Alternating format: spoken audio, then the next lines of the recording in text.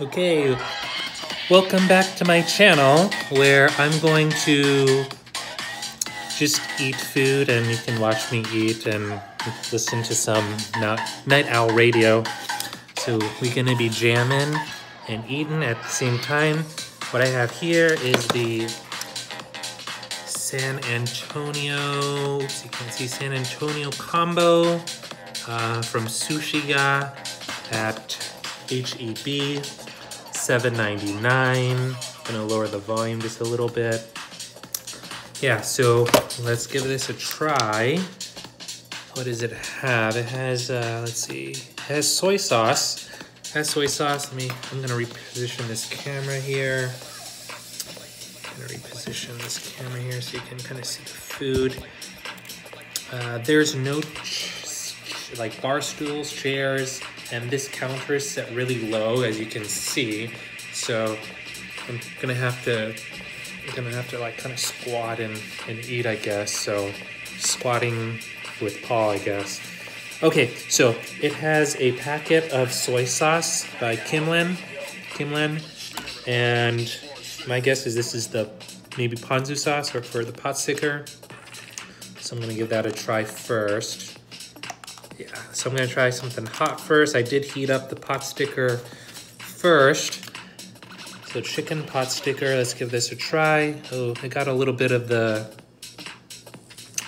the probably spicy mayo on it, so I'm gonna eat that one later because I want to try it without um, so I'm gonna dip this in the sauce here. Let's give it a try. Oh my gosh, it's hot. Wow. Okay. Um, the outside is a little hard. Hmm. I just put on something hard.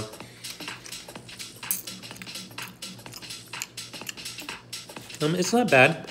Tastes clean. Definitely chicken flavor.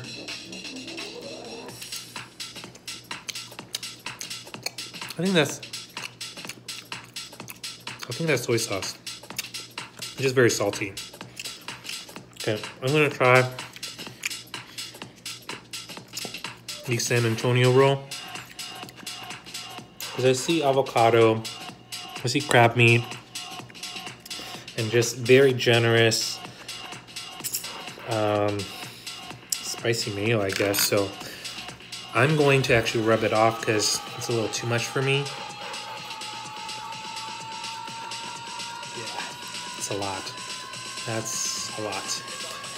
So I'm going to rub it off. Put it over to the side now. Let's give it a try. Try this first piece here. I think it's imitation crab meat. So down the hatch. Hmm. It's actually not bad.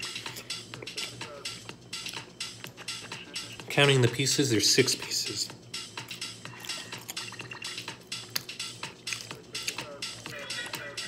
Okay. Uh, for let's see what the price was again. I think seven ninety nine. So seven ninety nine for six pieces of sushi, five pieces of dumplings, um, or chicken pot sticker is not bad. I'm gonna give it one more try. Okay. So for sushi that you can buy at a grocery store, not at a restaurant, out of 10, it's a pretty solid, it's pretty solid 8. 8 out of 10, pretty solid. Chicken pot sticker, however, I'm not gonna dip it in the soy sauce.